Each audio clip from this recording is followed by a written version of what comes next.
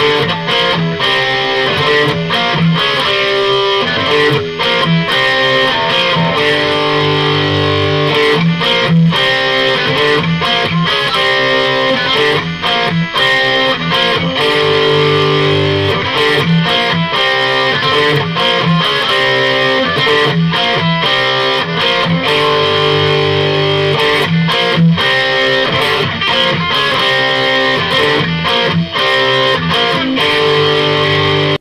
も、こんにちは。キングヒデです。えっと、今回もですね、えっと、まあ、続けてですね、えっと、まあ、往年のかっこいいギターリフ特集の第3弾ということでやっていきたいと思います。で、今回取り上げるバンドはですね、まあ、これも超大御所のですね、ハードロック界ではですね、すごい有名なバンドですね、ディープパープルのですね、あの、スモークオンザウォーターのですね、あの、ギターリフをですね、紹介していきたいと思います。なので、まあ、スモークオンザウォーター本当めちゃくちゃ有名な、あの、まあ、リフといえばですね、マスター、まさにちょっと、スモークオンザウォーターがですね、まあ、ギター初心者の方でも簡単に弾ける曲としてですね、まあ、いろんなところでですね、取り上げられるかと思いますね。で、まあ、あの、そうですね、ディープパープルといえばですね、まあ、リッチー・ブラックモア大先生がですね、あの、ギタリストとして弾いてると思うんですけども、まあ、僕はそこまで思いっきり好きではないんですけども、あの、まあ、リッチ・ブラックモアをですね、崇拝してる、まあ、あの、ギター弾いてる人もたくさんいる、いらっしゃるかと思いますので、まあ、あの、そのですね、まあ、有名なリフをですね、今回取り上げていきたいと思います。で、スモーク・オン・ザ・ウォーター本当にですね、と、まあ、いわゆるですね、まあ、リフといえばですね、まあ、結構あれが、あの、引き出しとして出されるかと思いますし、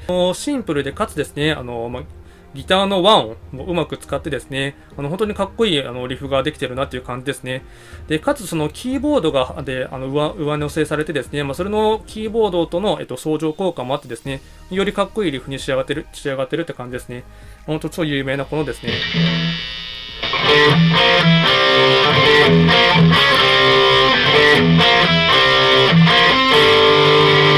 まあ、たったこのですね、えっと、タッタッタッタッタッタダタッタッタッタッタっていう、これがですね、ひたすら繰り返しされるですね、リピートされる曲ですね。で、まずこの曲がですね、えっと、まあ、紹介する前に、えっと、このリフ自体がですね、基本的にこの G マイナーのペンタトニック上で、あの、基本的には、あの、できてるんですね。まあ、一部ですね、えっと、まあ、ペンタトニックから外れてですね、フラット9が入っているところもあるんですけども、まあ、そのフラット5でもなくてフラット9を入れるところがですね、このリッチ・ブラックモーラ先生のですね、そのセンスがいい、センスというかですね、その、やっぱ才能の塊だなというふうに思ってしまいますね。で、まずですね、えっと、あれはですね、えっと、いわゆる4度コードっていうもので成り立ってまして、まあ、基本的に、えっと、まあ、パワーコードがですね、例えば G でいきますと、えっと、G のパワーコードっていうのが基本的には、6弦の3フレットと5フレット。これを弾くと、まあ、いわゆるパワーコード、まあ、5度コードって言われるのが1度と5度がパワーコードになるんですね。で、今回このスモークオンザウォーターで入ってくるのがですね、まあ、いわゆる4度コードっていうのでありまして、4度コードっていうのは、まあ、G の、同じく G のところでいきますと、パワーコードはこれです。4度コードは、えっと、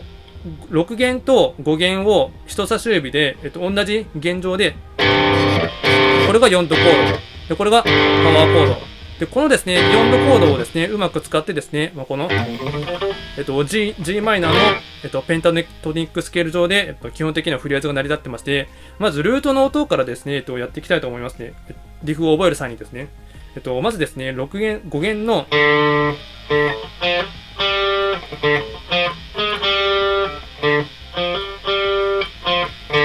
これがですね、ルートの、えっと、音のですね、運びになってるんですね。なので、後で、えっと、まあ、この、こっちかこの辺にですね、えっと、まあ、タブ譜を載せておきますが、まあ、あの、5弦の、えっと、5フレット、4弦の3、で、5弦に行って、えっと、5フレットですね、4弦の。このですね、この音がですね、えっと、G からと G マイナーのペンタの中のフラット9。このフラット9が入ってるところがですね、ちょっとあの、音がですね、あの、なんていうの、アンヌイというかですね、えっと、ちょっとダークな感じがしてかっこよくいいんですね、ミストとしては。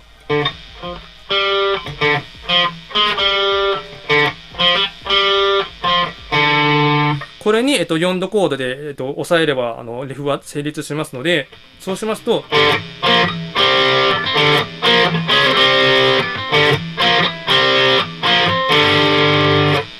で、これをですね、えっと、まあ、まずど、どうやって4度コードを押さえるかって言いますと、まず最初のディア玉がですね、D の4度コードになってるんですけども、えっと、5弦と4弦を、えっと、薬指で鳴らします。で、次が、このですね、えっと、4弦と3弦の、えっと、3フレットを人差し指で同時に押さえて、ここの G の G に行きたいときは、えっと、4弦と3弦の、えっと、5フレットを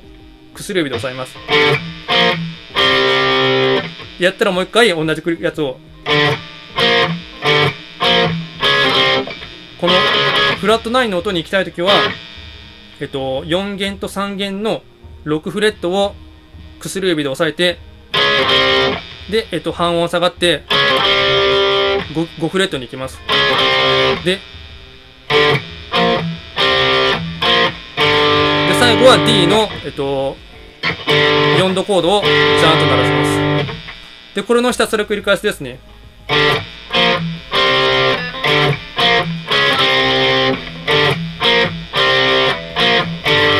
で、全部基本的にですね、えっと、スタッカート気味にですね、えっと、ずっと鳴らしっぱなしとかではなくて、全部、えっと、音を切るんですね、短く。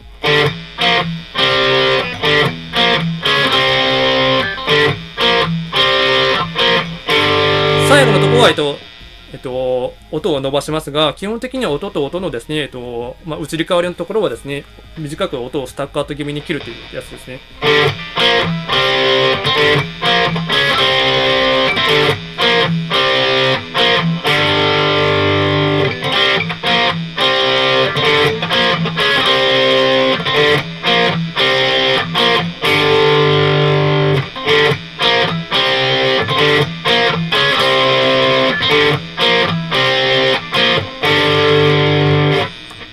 これがですね、えっとまあ、 Smoke on the Water のですね、えっとまあ、ギターリフですね。で、ピッキングはもうずっとですね、えっと、ひたすらダウンピッキングで、ダッダッダッダッダッダダダダ、あの、なんかライブバージョンとかを見ていますと、あの、なんていうんだかね、リッチー・ブラックモアはですね、なんか、なんでダウンピッキングじゃなくてアップピッキングで弾いてるのかちょっとわからないんですけども、アップピッキングで弾いてるっていうのもですね、見受けられたので、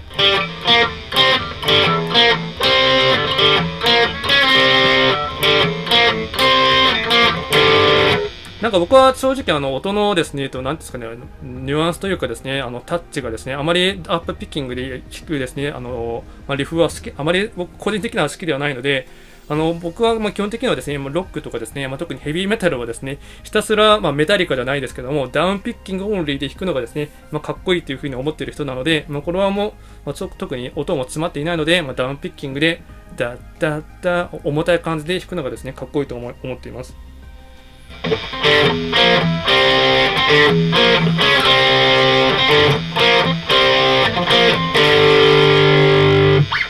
まあですね、本当、まああの、単純に、まあ、このですね、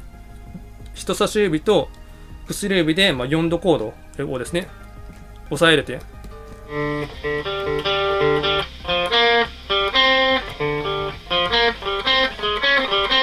このですね、えっと、まあ、4度コードがしっかりと抑えられて、あとはあのですね、えっと、リズムを、えっと、しっかりと弾ければですね、まあ、弾けてしまう簡単な曲で、かつですね、まあ、あの、シンプルかつかっこいい、あの、まあ、リフといえばですね、結構スモークオンザウォーターを取り上げられるかと思いますので、あの、すごい一回聴けばですね、本当耳に残るキャッチーなリフなので、まあ、簡単に紹介をさせていただきました。ま今回の動画が少しでも役に立ったとか面白かったと思っていただけましたら、高評価のグッドボタンとですね、あとぜひともチャンネル登録のほどお願いいたします。最後まで聴いていただきましてありがとうございました。